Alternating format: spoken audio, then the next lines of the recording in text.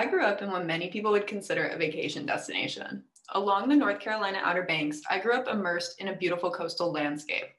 As I grew older, I came to appreciate all this landscape had to offer and how much an individual could gain from interactions with their natural environment.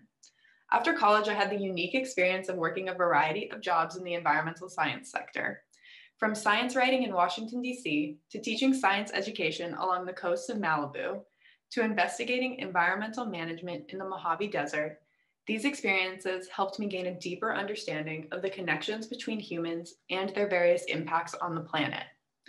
I initially became interested in public health after learning about delayed reproductive development in fish living in waters contaminated by estrogen from hormonal birth control.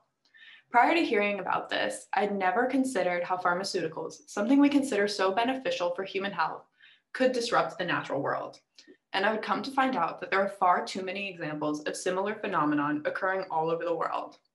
When we think of how humans harm the earth, the obvious pictures come to our mind.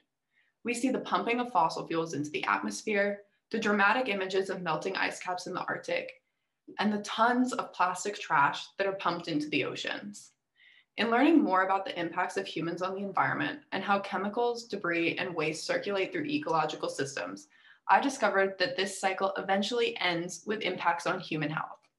My interest in public health stemmed from the investigations of connections between pollution, ecological cycles, and human health. That interest led me to pursue my Master's of Science degree in Environmental Health at the Harvard T.H. Chan School of Public Health where I've become involved in various research projects to uncover the links between environmental exposures and human health outcomes. My master's thesis work is focused around how exposures to perfluorinated compounds like PFAS and PFOA in the environment impact the human immune system. I'm also currently working on an independent study to investigate how the popularized climate mitigation strategy, solar geoengineering, could potentially affect human health. I've been lucky to find a home here at Harvard where there are so many passionate students and faculty who are driven to pursue climate science, environmental protection, and sustainability from a variety of angles.